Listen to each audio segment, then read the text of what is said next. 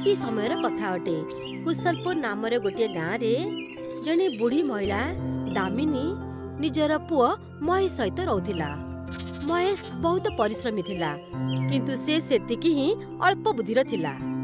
ଯେଉଁ କାରଣରୁ ଲୋକମାନେ ତାକୁ ଠକି ନେଉଥିଲେ ଆଜି ମହେଶ କାମ କରି ଘରକୁ ଫେରିଥିଲା ତେବେ ଦାମିନୀ ମହେଶକୁ ପଚାରିଲା ପୁଅ ମହେଶ ଏଇ ସପ୍ତାହର ପଇସା ମିଳିଲା ମା' ଆଜି ମତେ ପୁରା ଶହେ ଟଙ୍କା ମିଳିଲା କ'ଣ ବା ଶହେ ଟଙ୍କା ମିଳିଲା ହଁ ମା ଠିକାଦାର ବାବୁ ବାକି ସବୁ ମୁଲିଆମାନଙ୍କୁ ଗୋଲାପୀ ନୋଟ ଦେଲେ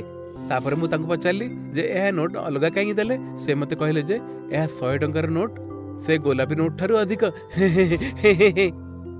ଆରେ ମୋର ଭୋଳା ଏଇ ଶହେ ଟଙ୍କା ଆଉ ସେଇ ଗୋଲାପୀ ନୋଟ ଦୁଇ ହଜାର ଟଙ୍କାର ହେଇଥାଏ ତେବେ ଗୋଲାପୀ ନୋଟ ସେଇ ନୋଟ ଠାରୁ ବଡ଼ ହେଲା अच्छा पुओ से माने तते ठकी देले मो बुद्धि न अटे ना एथि पाई मो बुझि पारनी आ लोक मते ठकी दउ छंदी नाही पुओ तू अल्प बुद्धि नु हे तू बहुत भोला ना आपण किछ जानतेनी समत मते एहाई कहंती एहा कहि मोय सेठारु बाहर चली जाए अरे पुओ सुने तो पुआड़े रागी जाई चली जाऊ ଆଉ ଦାମିନୀର ଡାକ ମଧ୍ୟ ନ ଶୁଣି ମହେଶ ରାତି ସମୟରେ ଚାଲି ଚାଲି ଗୋଟିଏ ଗଛ ପାଖରେ ଯାଇ ପହଞ୍ଚିଯାଏ ସିଏ ଦେଖିଲା ଯେ ସେଇଠି ଗୋଟିଏ ରୋବୋଟ ପଡ଼ି ରହିଛି ସେହି ରୋବୋଟ ହଲି ମଧ୍ୟ ପାରୁନଥିଲା ମହେଶ ତାର ପାଖରେ ଯାଇ ପହଞ୍ଚିଗଲା ଆରେ ଏ ଏତେ ବଡ଼ ଖେଳନା ତାହା ବି ଲୁହାର ଆରେ ୟାକୁ ମାଆଙ୍କୁ ଦେଇଦେବି ତେବେ ବହୁତ ଖୁସି ହେଇଯିବେ ମୁଁ ଗୋଟେ ରୋବୋଟ ଅଟେ ଆଉ ମୋତେ ଇନ୍ଧନର ଦରକାର ଅଛି ମୋତେ ଇନ୍ଧନ ଦେଇଦିଅ ଇଏ ଇଏ ବଡ଼ କଣ୍ଢେଇ ତ କଥା କହୁଛି ଇନ୍ଧନ ଇଏ କ'ଣ ହେଇଥାଏ କିଛି ଖାଇବେ ଜିନିଷ କି ତୁମେ ତ ବହୁତ ହୋସିଆର ଅଟ ହଁ ଏହି ଇନ୍ଧନ ମୋ ପାଇଁ ଖାଇବା ଜିନିଷ ଆଉ ମୁଁ ଏହା ବିନା ଚାଲିପାରିବିନି କିନ୍ତୁ ଇନ୍ଧନ କେଉଁଠୁ ମିଳିବ ପାଣି ମୋତେ ପାଣି ଦେଇଦିଅ ତାହା ହିଁ ମୋର ଇନ୍ଧନ ଠିକ୍ ଅଛି ରୋବଟ ଭାଇ ଏବେ ହିଁ ଆଣୁଛି ମୟ ସେଠାରୁ ଚାଲିଗଲା ଆଉ କିଛି ସମୟ ପରେ ଗୋଟିଏ ମାଠିଆରେ ପାଣି ନେଇ ଆସିଗଲା ମହେଶ ପାଣିକୁ ଏବେ ରୋବୋଟକୁ ପିଆଇବାକୁ ଲାଗିଲା କିଛି ସମୟ ଭିତରେ ରୋବୋଟ ଉଠି ଛିଡ଼ା ହୋଇଗଲା ତୁମକୁ ବହୁତ ଧନ୍ୟବାଦ ମୁଁ ଭବିଷ୍ୟତରୁ ଆସିଛି ଆଉ ଇନ୍ଧନ ଶେଷ ହୋଇଯିବା କାରଣରୁ ମୁଁ ଚାଲି ପାରୁନଥିଲି କିନ୍ତୁ ଏବେ ତୁମେ ମୋତେ ଇନ୍ଧନ ଦେଇ ଦେଇଛ ତେଣୁ ମୁଁ ଘରକୁ ଫେରିପାରିବି महेश हटात कांदिबाकु लागिला कौन हैला भाई तमे काहे के कांदो छ रोबर्ट भाई आपण एबे मते होशियार कहले ना मते आज पर्यंत के होशियार कहि नहंती समस्त मते मोटा बुद्धि कहउचंती मो तुमको होशियार कर दे पारिबी कण सतरे ताहा के बिंती रोबोट गोटिए कैप्सूल महेश रा हाथ रे दे कहबाकु लागिला ଏଇ ଔଷଧ ଖାଇକରି ପାଣି ପିଇ ନେବ ମୁଁ ଯେଉଁ ଭବିଷ୍ୟରୁ ଆସିଛି ଆମକୁ ସେଠାରେ ଏଆଇ କୁହାଯାଏ ତୁମେ ଏହି କ୍ୟାପସୁଲ୍ ଖାଇବ ତେବେ ତୁମର ବୁଦ୍ଧି ବି ବହୁତ ବଢ଼ିଯିବ ତୁମେ ଗୋଟିଏ ଚାଲି ବୋଲି କରୁଥିବା ଏ ଆଇ ରୋବୋଟ୍ ହେଇଯିବ କ'ଣ ସତରେ ଆପଣଙ୍କୁ ବହୁତ ବହୁତ ଧନ୍ୟବାଦ କିଛି ଅସୁବିଧା ନାହିଁ ଏବେ ମୁଁ ଯାଉଛି ଭବିଷ୍ୟରେ ମୋର ପହଞ୍ଚିବା ବହୁତ ଜରୁରୀ ରୋବୋଟ୍ ସେଠାରୁ ଅଦୃଶ୍ୟ ହୋଇଗଲା ଆଉ ମହେଶ ନିଜର ଘରକୁ ଫେରି ଆସିଲା ଆଗାମୀ ଦିନ ମହେଶ ନିଜର ମାଆକୁ କହିବାକୁ ଲାଗେ ମା ମୁଁ ଭାବୁଛି ଯେ ଯେ ମୁଁ ଏହି ମୂଲିଆ କାମକୁ ଛାଡ଼ିକରି ନିଜ କ୍ଷେତ ଉପରେ ଧ୍ୟାନ ଦେବି କାରଣ ବାପା ମୋ ପାଇଁ ବହୁତ କ୍ଷେତ ଛାଡ଼ିକି ଯାଇଛନ୍ତି ନା ଏହା ତୁ କହି କିପରି ପାରୁଛୁ ପୁଅ ତୋର ସ୍ୱରକୁ କ'ଣ ହେଇଗଲା ଠିକ କହନ୍ତି ମାଆକୁ କିଏ କିଛି ବି ଲୁଚାଇ ପାରିବନି ମହେଶ ନିଜର ମାଆକୁ ସବୁ ଘଟଣା କହିବାକୁ ଲାଗିଲା আচ্ছা তাহলে এই কথা ହେଲେ ପୁଅ ତୋର ବୁଦ୍ଧି ବଢ଼ିଛି ଏହାକୁ ଠିକ୍ରେ ବ୍ୟବହାର କରିବୁ ବୁଝିଲୁ ଆଉ ହଁ ପୁଅ ଏଇ କ୍ଷେତ ତ ଏମିତି ହିଁ ଅନୁର୍ବର ହୋଇ ପଡ଼ିଛି କାରଣ ତୁ ଜମି ସମ୍ଭାଳିବା ଜାଣିନୁ ନହେଲେ ତ ଏବେ ତୁ ବହୁତ ବଡ଼ ଜମିଦାର ହେଇଯାଇଥାନ୍ତୁ ଠିକ୍ କହିଲ ମା ଏବେ ମୁଁ ସବୁ ସମ୍ଭାଳି ନେବି ଏମିତି ବି ଠିକାଦାର ବହୁତ କମ୍ ପଇସା ଦେଇକି କାମ କରାଉଛି ନା ଯଦି ମୁଁ ଲୋକଙ୍କୁ କିଛି ଅଧିକ ପଇସା ଦେବି ତେବେ ସେ ମୋ ପାଖରେ କାମ କରିବାକୁ ଲାଗିବେ ଆରେ ପୁଅ ତୁ ତ ବୁଦ୍ଧିମାନ ହେଇଗଲୁ ଏବେ ମୁଁ ଯାଉଛି ମା ଆଉ କିଛି ଲୋକଙ୍କ ସହିତ କଥା ହେଇ ତାଙ୍କୁ ମୋ ପାଖକୁ ନେଇକି ଆସୁଛି ଠିକ ଅଛି ଯା ଭଗବାନ ତତେ ବହୁତ ଉନ୍ନତି କରନ୍ତୁ ମହେଶ ସେଠାରୁ ବାହାରି ପଡ଼ିଲା ଆଉ ଯାଇ ଗୋଟିଏ ପଞ୍ଚାୟତ ଡାକି ଆସିଲା ସେହି ଗଛ ପାଖରେ ଯେଉଁଠି ଭୋଲୁ ଠିକାଦାର ପ୍ରଧାନ ବଲ୍ଲୁ ପେହଲୱାନ ଆଉ କିଛି ଗାଁ ଲୋକମାନେ ଉପସ୍ଥିତ ଥିଲେ କଥା କ'ଣ ମହେଶ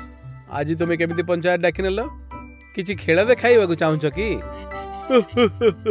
ତେବେ ତମକୁ କ'ଣ ଲାଗୁଛି ଆମର ମହେଶ ତମଠୁ ଗଣିତ କଥା କହିବ ହୋ ହୋ ହୋ ହୋ ମହେଶ ଏଇସବୁ କଥା ଛାଡ଼ ଆଉ କୁହ ତୁମକୁ ଶହେ ଟଙ୍କାର ବଡ଼ ନୋଟ୍ ଦେବି ନା ଠିକାଦାର ବାବୁ ଆପଣ ଶହେ ଟଙ୍କାର ଛୋଟ ନୋଟ୍ ଆଉ ଦୁଇ ହଜାର ଟଙ୍କାର ବଡ଼ ନୋଟ୍ ଆପଣଙ୍କ ପାଖରେ ହିଁ ରଖନ୍ତୁ ମୁଁ ଆପଣ ସମସ୍ତଙ୍କୁ ଏଠାକୁ ଏଥିପାଇଁ ଡାକିଅଛି ଯେ ଆପଣ ସମସ୍ତଙ୍କୁ ଠିକଦାର ବାବୁ ବହୁତ କମ୍ ପଇସା ଦେଇ କାମ କରାଉଛନ୍ତି ଆରେ ମହେଶ ସେ ତୁମକୁ ଶହେ ଟଙ୍କା ଦେଉଛନ୍ତି ଆମକୁ ନୁହେଁ ବୋଲୁ ଯଦି ସେ ମୋତେ କମ୍ ପଇସା ଦେଉଥିଲେ ତାହେଲେ କେବେ ତମେ ମୋ ପାଇଁ ଦିନେ କହିଛ କି ନାହିଁ ନା ତାହା ତ ତାହା ଆରେ ବୋଲୁ ଏଇ ମହେଶ ତ ହୋସିଆର ଭଳି କଥା କହୁଛି ଏସବୁ ଛାଡ଼ ମୁଁ କୌଣସି ପଇସା ବଢ଼ାଇବିନି ସପ୍ତାହକୁ ଦୁଇ ହଜାର ଟଙ୍କା ଦେଉଥିଲି ଆଉ ସେତିକି ହିଁ ମିଳିବ ଦେଖିଲେ ଆପଣ ସମସ୍ତେ ଏ ପଇସା ବଢ଼ାଇବେନି ଆଉ ଆପଣଙ୍କଠୁ ଦୁଇ ଗଣ କାମ ବି କରାଇବେ ତାହେଲେ ଆମେ ଆଉ କ'ଣ କରିବୁ ମୋ ପାଖରେ ଗୋଟେ ଉପାୟ ଅଛି ଦେବା ପାଇଁ ମୋ ପାଖରେ ଏବେ ପଇସା ତ ନାହିଁ କିନ୍ତୁ ମୋ ପାଖରେ ବହୁତ ଜମି ଅଛି ଯଦି ଆପଣ ସମସ୍ତେ ମୋ କ୍ଷେତ୍ରରେ କାମ କରିବେ ତାହେଲେ ଆପଣଙ୍କ ପରିଶ୍ରମ ବଦଳରେ ଆପଣ ସମସ୍ତଙ୍କୁ ବର୍ଷଭର ପାଇଁ ରାସନ ମୁଁ ଦେବି ଆଉ ତା ସହିତ ଯେବେ ମୁଁ ଧାନ ବିକ୍ରି କରିବି ସେଥିରେ ଆସିଥିବା ପଇସାରୁ ଆପଣ ସମସ୍ତଙ୍କୁ କିଛି ଭାଗ ମଧ୍ୟ ଦେବି ଏହା ତ ତୁମେ ବହୁତ ଭଲ କଥା କହୁଛ ପରେ ପଛକୁ ହଟିଯିବନି ତ ନା ବିଲକୁଲ ନାହିଁ ମୁଁ ଯାହା କହୁଛି ତାହା ମୁଁ ନିଶ୍ଚୟ କରିବି ଏହା ମୁଁ କଥା ଦେଉଛି ଏ ତୁ କ'ଣ କହୁଛୁ ଏଇ ଲୋକମାନଙ୍କୁ ଉସ୍କାଇ କରି ନିଜର ବାହା ବାହା କରୁଛ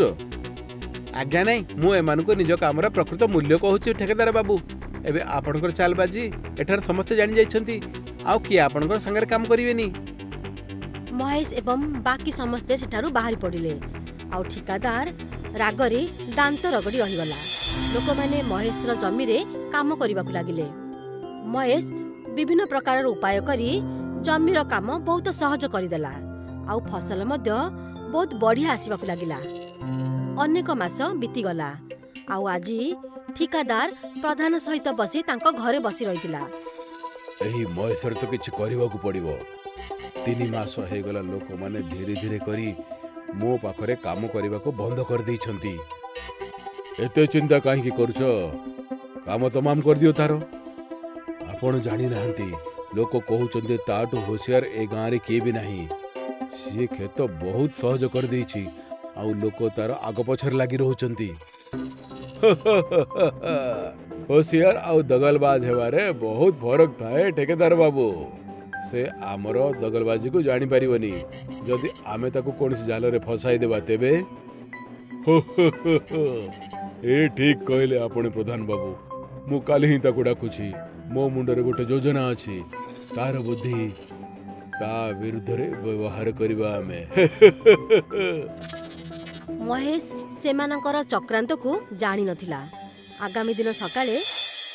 ମହେଶ ନିଜର ଘରେ ନିଜ ମା ସହିତ କଥା ହେଉଥିଲା ମା ଆଜି ପ୍ରଧାନ ବାବୁ ମୋତେ ତାଙ୍କ ଘରର ସିନ୍ଦୁକ ଖୋଲିବାକୁ ଡାକିଛନ୍ତି ସିଏ ଆଉ ଠେକାଦାର ବାବୁ ଦୁହେଁ ଭେଟିଥିଲେ ମୋତେ ସେ କହିଲେ ଯେ ମୋତେ ତାଙ୍କ ଚାବି ହଜିଯାଇଛି ଆଉ ମୋ ଛଡ଼ା କିଏ ତାକୁ ଖୋଲି ପାରିବନି ଓ ତାହେଲେ ଏହା କହିଥିଲା ସିଏ ପୁଅ ଶୁଣେ ତୁ ଚାଲାକ ତ ବହୁତ ହେଇଗଲୁଣି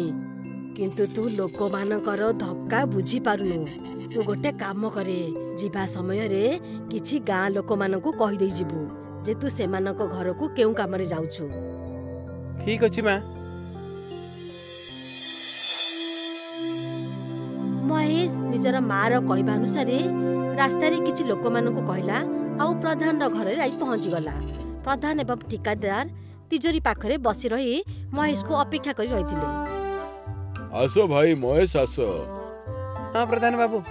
କ'ଣ ଏହି ସିନ୍ଦୁକ ଖୋଲିବାର ଅଛି ହଁ ଭାଇ ଖୋଲିପାରିବ ୟାକୁ ନା ଆରେ ୟାଙ୍କର ବୁଦ୍ଧିର ଚର୍ଚ୍ଚା ତ ପୁରା ଗାଁରେ ଅଛି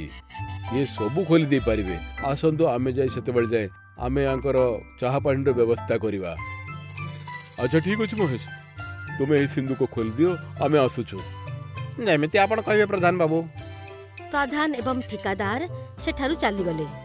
ମହେଶ ସିନ୍ଦୁକ ଖୋଲିବାରେ ଲାଗିଗଲା ଆଉ କିଛି ସମୟ ଭିତରେ ସିନ୍ଦୁକ ଖୋଲିଗଲା ଯାହା ଭିତରେ ବହୁତ ଗୁଡ଼ିଏ ସୁନା ଏବଂ ପଇସା ରଖା ହୋଇଥିଲା ବା ଏସବୁ କାମ ଏବେ କେତେ ସହଜ ହେଇଗଲା ଯାହା ହେଉ ବୁଦ୍ଧି ବହୁତ କାମର ଜିନିଷ ସେତେବେଳେ ସେଠାକୁ ପ୍ରଧାନ ଏବଂ ଠିକାଦାର କିଛି ଗାଁ ଲୋକଙ୍କ ମାନଙ୍କ ସହିତ ଆସି ପହଞ୍ଚିଗଲେ ଆଉ ସେମାନଙ୍କ ସହିତ ଦାମିନୀ ମଧ୍ୟ ସେଠାକୁ ଆସିଗଲା ଏଇ ଦେଖନ୍ତୁ ଆପଣମାନେ ସମସ୍ତେ ଧ୍ୟାନ ଦେଇ ଦେଖନ୍ତୁ ଏଇ ମହେଶ ମୋ ଘରେ ଚୋରି କରୁଅଛି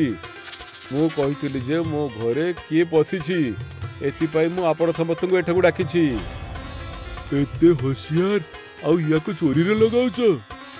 ଆପଣ କହୁଛନ୍ତି ଯେ ମହେଶ ଚୋରି କରୁଛି ହଁ ବିଲକୁଲ କ'ଣ ଏହା ସତ ଠିକେଦାର ବାବୁ ହଁ ବିଲକୁଲ ସତ କଥା ହଠାତ୍ ଦାମିନୀ ମହେଶ ବଲ୍ଲୁ ଭୋଲୁ ସମସ୍ତେ ହସିବାକୁ ଲାଗିଲେ ତମେ ସମସ୍ତେ ହସୁଛ କାହିଁକି ମୁଁ ତ ଏଥିପାଇଁ ହସୁଛି ଯେ ଏତେ ବୁଦ୍ଧି ହେବା ପରେ ବି ମୁଁ ମୋର ମା କାରଣରୁ ବଞ୍ଚିଗଲି ମାନେ ମାନେ ଏହା